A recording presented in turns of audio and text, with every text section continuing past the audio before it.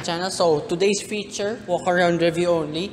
I have here the 2022 BMW 220i M Sport. So this is the all new 2 Series here on our market. We're not sure if we're getting the new M2 Comp yet. They're still awaiting for its launch there in Germany. But the one I'm referring to, actually, I just remembered, is the M240i. We have no word if we're getting that here. But knowing BMW, you can indent order here. What we get here for now is this base variant, but still the M Sport trim. So with its looks, I gotta be honest, I'm not a big fan of it. However, seeing it first time here, I mean, it's kind of growing on me. I do like its aggressive and angry looks. And yes, there are few character lines here, creases here on the hood and as well on the side. I do love the side profile of this new 2 Series, by the way. And again, at the front, I do like the older ones still, just being honest. Also, you have active grills here. They're shut at the moment since this is just here in the stock room.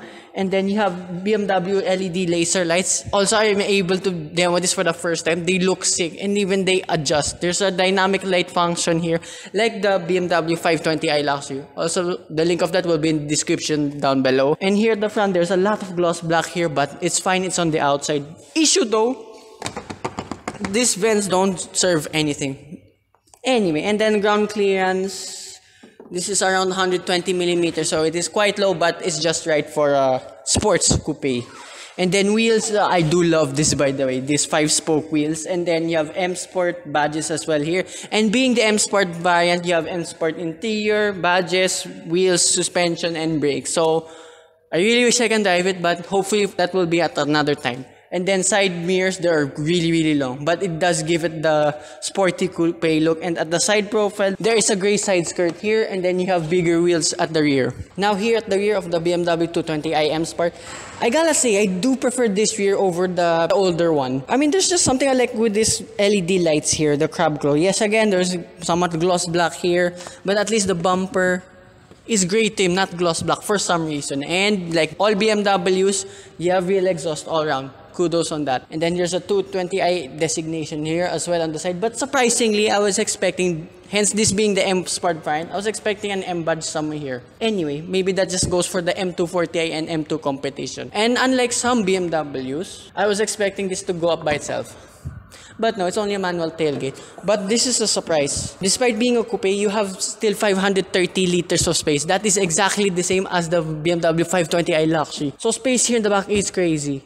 But there's not much storage here. There's no net storage, no cubby spaces whatsoever. Like every other BMW, you can fold the seats down here. There are two latches here on either side and just fold the seats down. It's actually a 30T, 30T, 30T layout. That's actually a surprise. I was expecting a 60-40 layout. This is quite hard as well to put down. Take note.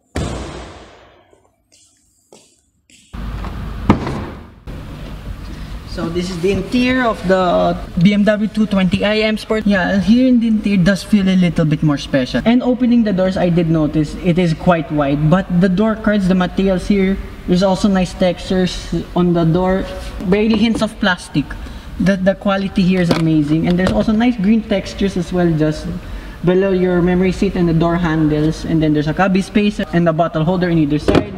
My water jug still fits, amazing. And then I'll shut the door.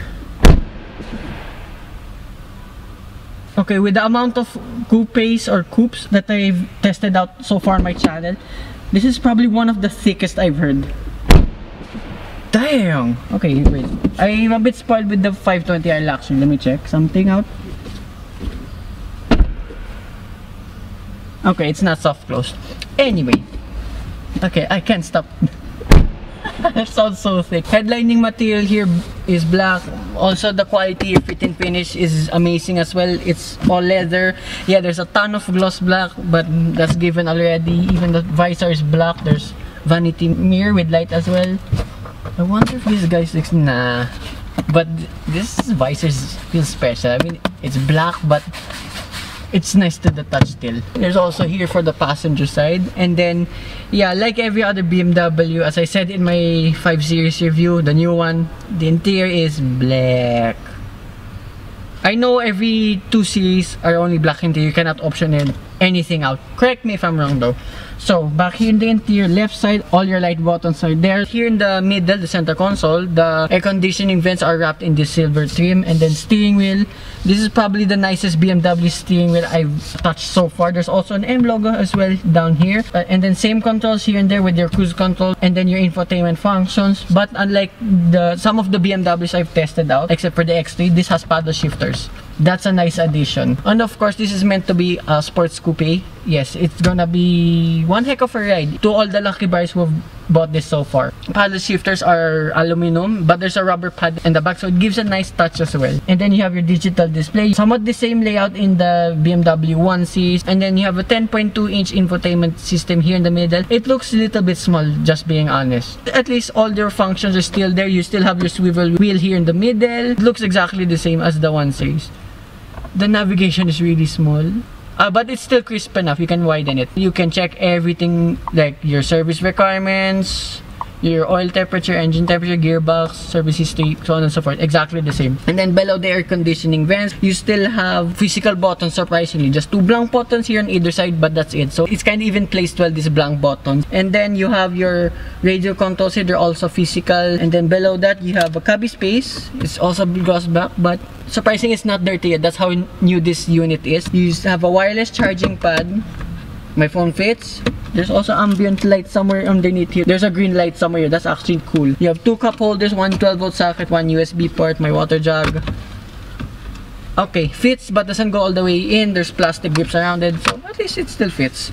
And then you have soft pads here with blue stitching. Also, yeah, all the seats here have blue stitching all around. But unlike the 520i Luxury that I reviewed earlier, the soft pads here for your knee is way softer. It's not as stiff as the 5 Series. And then center console box. Okay, that's pretty decent. Okay, this is even more space than the 520i Luxury line.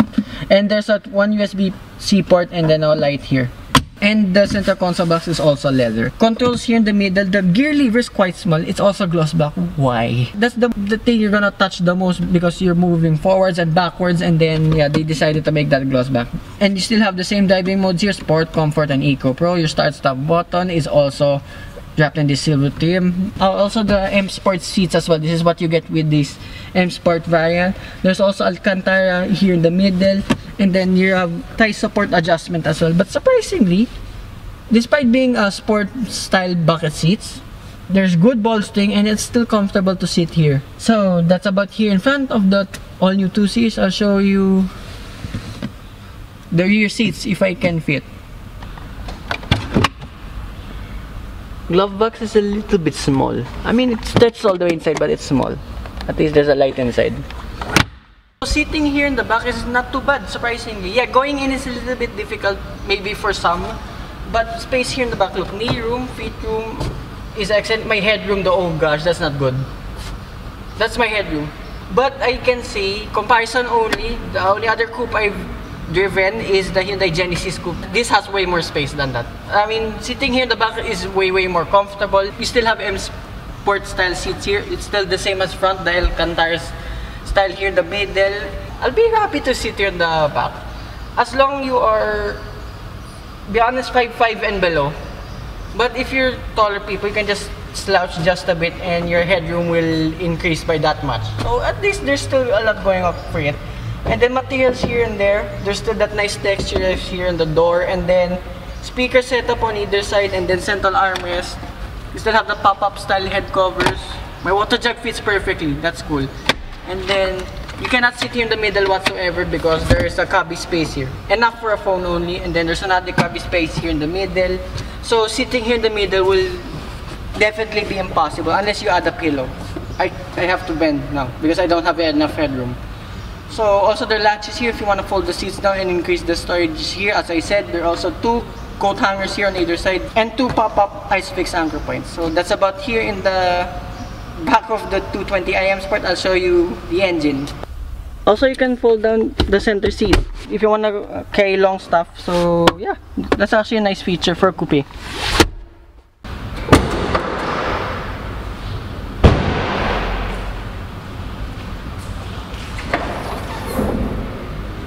So this is the engine of the BMW 220i M Sport. It's a 2-liter single-scroll turbocharged 4-cylinder engine that produces 181 horsepower and 300 newton meters of torque and is mated to an 8-speed ZF transmission. This engine is exactly the same as the 520i Luxury but this has 3 horsepower less but 10 newton meters more torque. And then 0 to 100 time is 7.5 seconds. That's 0.4 of a second faster than that. So yeah, this is as far as I go. But hopefully soon I'll be able to drive these beasts. So hope you guys like and subscribe. And I will see you with more future car reviews. And more BMWs as well. I wish I can drive this whole lot. Bye-bye.